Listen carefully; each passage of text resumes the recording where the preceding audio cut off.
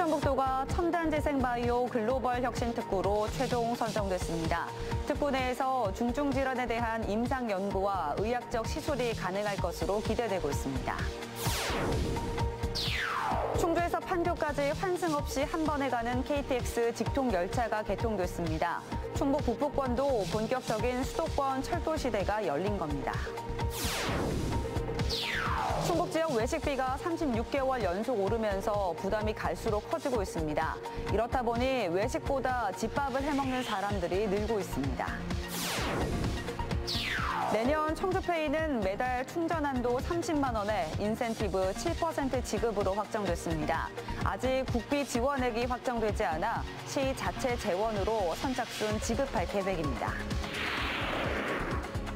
안녕하십니까. CJB 8시 뉴스 시작합니다. 충청북도가 국내 최초로 전면적인 네거티브 규제가 적용되는 첨단 재생 바이오 글로벌 혁신 특구로 최종 선정됐습니다. 이제 충북 바이오 특구만이 유일하게 중증 질환에 대한 임상 연구와 나아가 의학적 시술도 가능해질 것으로 기대되고 있습니다. 이태영 기자입니다. 중소벤처기업부가 충북 오송을 첨단 재생바이오 글로벌 혁신특구로 지정했습니다. 글로벌 혁신특구는 신기술을 활용한 적극적 실증이 가능할 수 있도록 정부가 명시된 금지사항 이외에는 모든 실증을 허용합니다. 비수도권 14개 광역자치단체가 모두 신청한 이번 공모에서 충북 오송을 비롯해 부산과 강원, 전남이 최종 지정됐습니다. 기업, 국책연구기관의 집적, 뛰어난 접근성 등을 강조하여 높은 경쟁력을 잘 설명했습니다. 이에 따라 오송 바이오 특구 내에 입주한 기업 기관들은 기존 엄격했던 규제들에서 벗어난 연구가 가능해집니다. 그중 하나로 지금까지 대부분 난치, 희귀질환에 한해서만 허용돼 왔던 국내 임상 연구가 특구 내에서는 치매나 심혈관 질환 등 중증 질환에 대해서도 허용될 것으로 예상됩니다. 나아가 자가세포 의료행위에 의학적 시술도 허용이 기대되면서 해외 원정 치료를 떠나던 환자들을 붙잡을 수 있는 한편 충북 의료 관광 상품으로서의 가능성도 점쳐지고 있습니다. 우리나라에서는 기본적으로 임상을 허용합니다. 치료는 굉장히 제한적이에요. 그 자가세포를 활용한 의학적 시술 행위를 오송에서 좀 허용해달라. 이 밖에 충청북도는 특구 내에서 임상용 공동 세포 처리 시설의 허용과 국내 혁신 의료기술의 우선 적용 등을 시행할 예정입니다.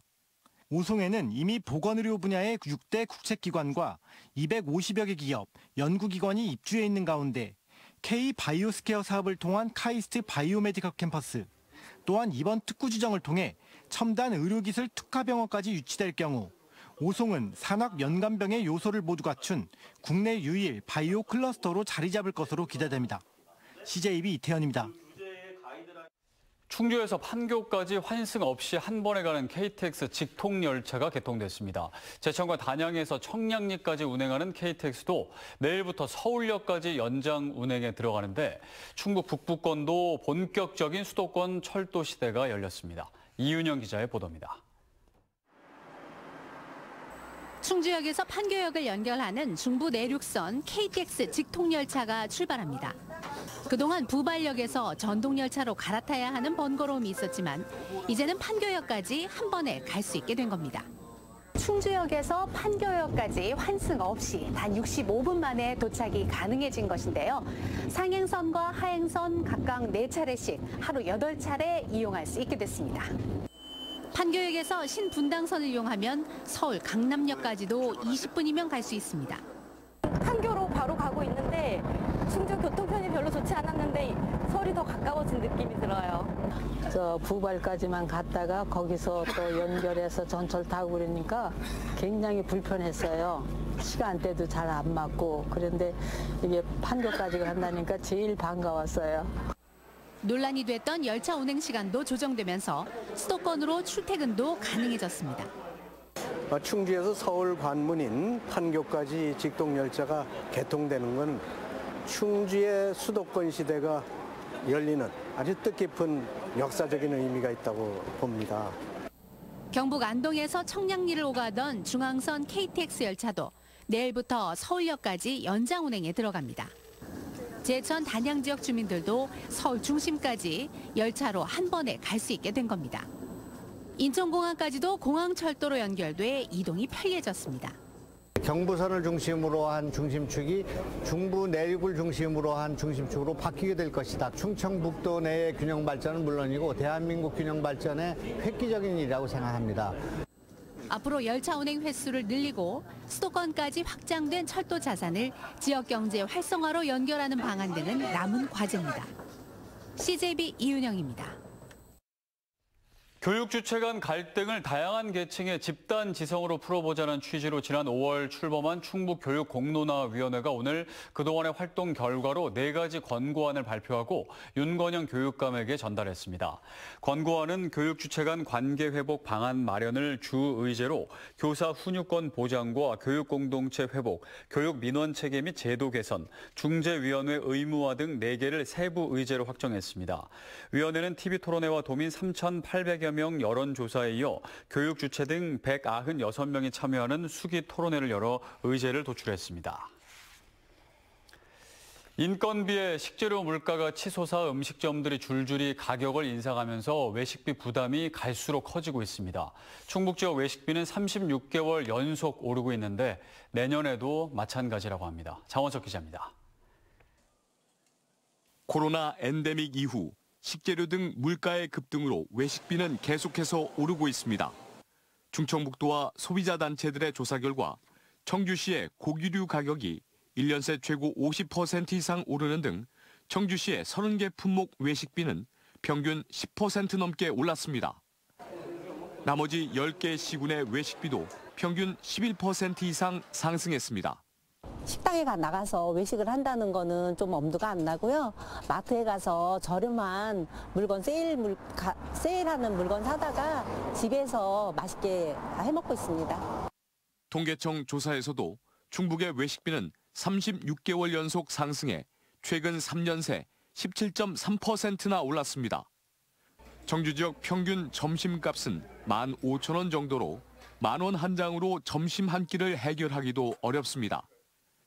민간기업 조사 플랫폼이 20대부터 60대까지 남녀 7천 명을 조사한 결과 외식보다 집밥을 해먹는다는 인구가 3배가량 많은 것으로 나타났습니다. 지역의 소비자 단체들은 내년 외식비 상승세가 한국은행의 내년 물가 상승률 전망치인 2.6%를 크게 웃돌 것으로 예측했습니다. 공공요금 인상과 인건비 상승, 농산물의 가격을 결정하는 기후 변동성 때문입니다.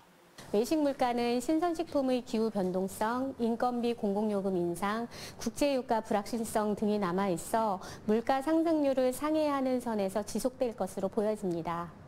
고금리, 고물가, 경기 침체란 삼중고 속 급등한 외식비에 한숨 짓던 서민들은 새해엔 가벼운 마음으로 식사 한 끼를 해결하길 기대해 봅니다. CJB 장원석입니다.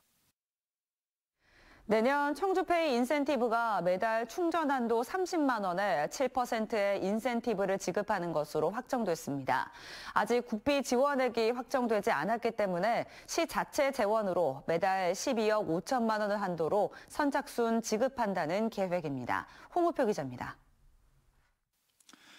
청주시가 새해 4일부터 청주페이 인센티브 지급을 시작합니다.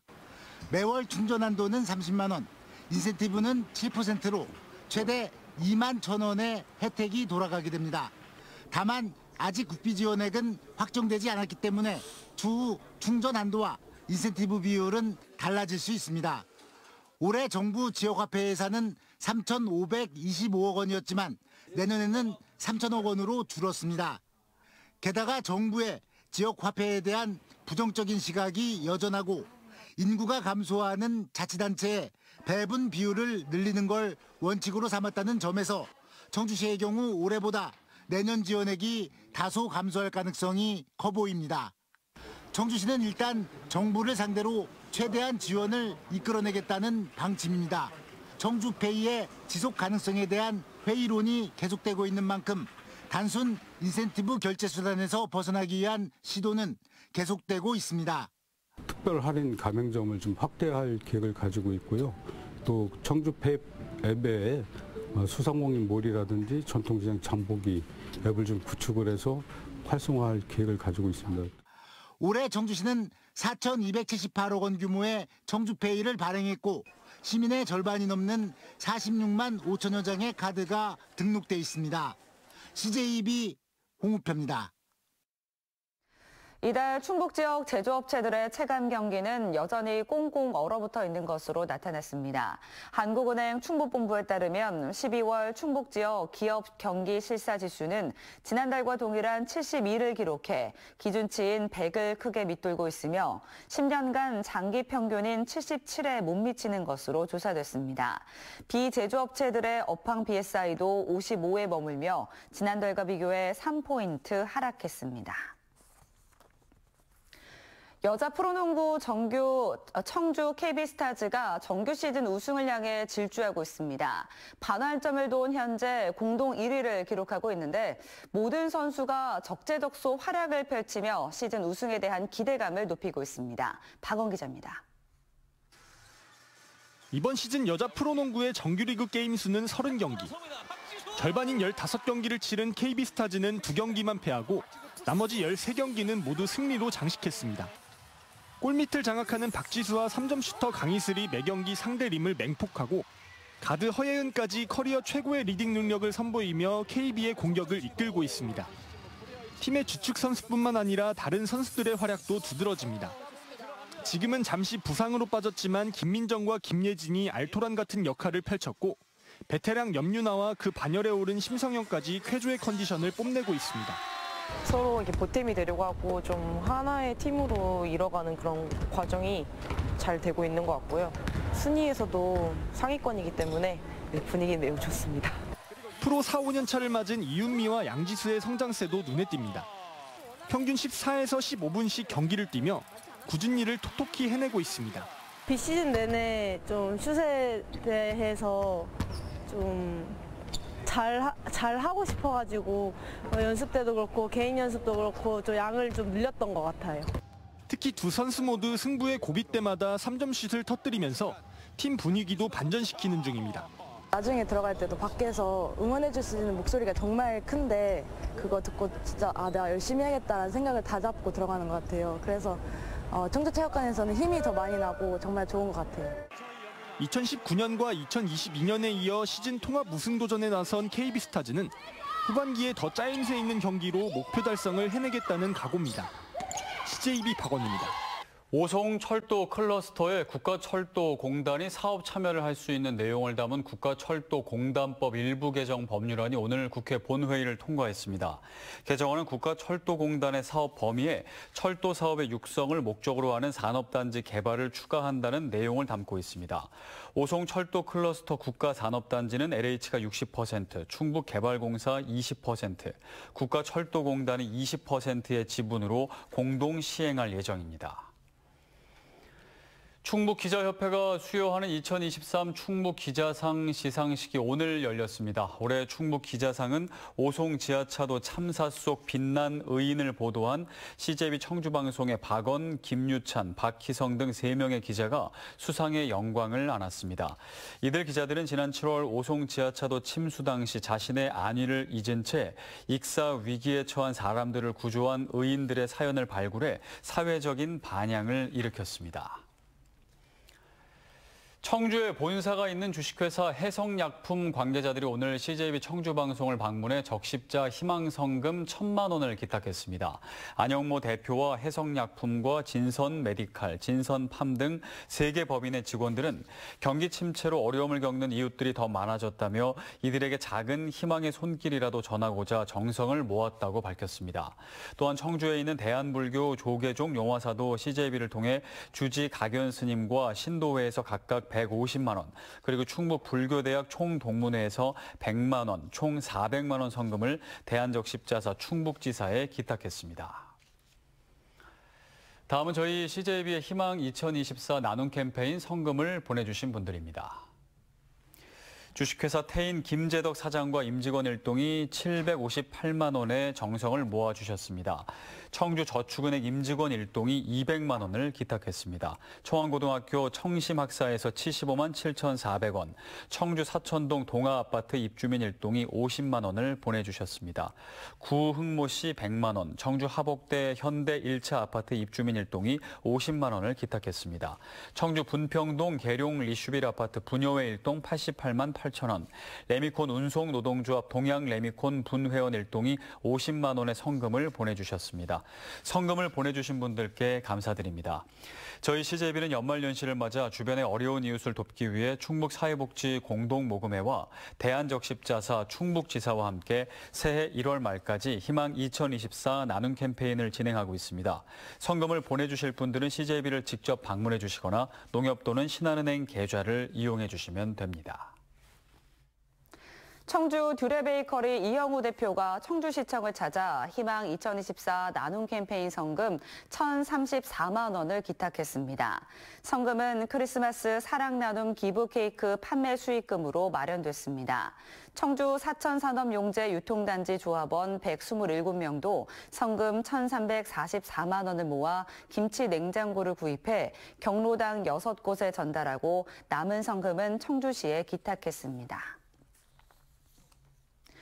청주지검이 청주 오송 지하차도 참사와 관련해 구속한 시공사 공사 현장 책임자를 기소했습니다.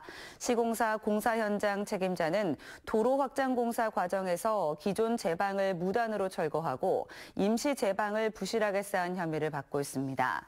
지난 7월부터 지하차도 참사 수사를 진행 중인 검찰이 관련자를 기소한 건 지난주 감리 단장에 이어 이번이 두 번째입니다.